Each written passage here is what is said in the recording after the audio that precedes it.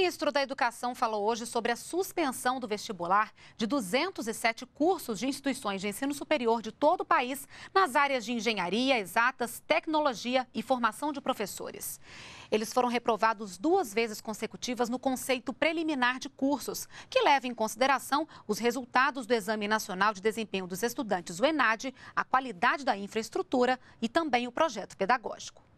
Nós não podemos ter qualquer ensino superior, tem que ter um padrão mínimo de qualidade e as instituições que não evoluíram de 2008 para 2011, que não atingiram o nível mínimo satisfatório, não podem simplesmente continuar abrindo vagas como se nada tivesse acontecido. Então elas estão proibidas de aumentar o número de matrículas e não poderão fazer o vestibular em 2013.